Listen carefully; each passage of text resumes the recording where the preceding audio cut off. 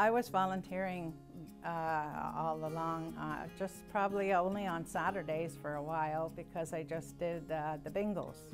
And uh, one of the ladies who worked here in activation, uh, she got me started. I used to go and help her work in her garden and she asked me to help her with bingo one day.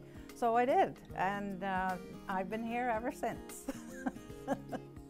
oh, I, I love interacting with the residents and the staff is uh, awfully good and uh, supportive and uh, um, I think that uh, learning about these residents and their backgrounds and where they came from and what they used to do and uh, I love making them laugh.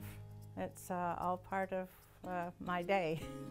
the staff here, the activation staff especially, when my husband was so sick at home and we knew he was not going to be with us for long. They uh, helped me quite a bit uh, through my grieving and uh, with support when I was going through taking care of him and that.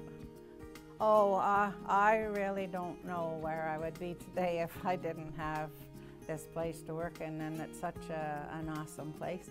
The, the staff are, are excellent and uh, the girls in the office are great and uh, of course I just love the residents and doing stuff with them, doing act activities and uh, joining in their entertainment and that. I love doing all that. that was really a big jump and I'll never forget moving day because all the, the moving trucks came in every direction from every uh, uh exit and entrance and filling up the the vans and uh, we brought uh, busloads of uh, residents here. It was just the whole, it was very well organized though because the administrator we had then, uh, Connie Sheridan, uh, she was just excellent at organizing all that and it was, uh, was made pretty simple actually and it went so well.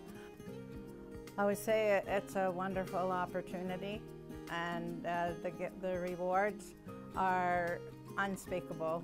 They're uh, heartfelt uh, rewards, and uh, I think that um, it's a, a, a, great way to, um, especially a retired person, uh, would be a great way to uh, uh, help others, and it's, it's very uplifting.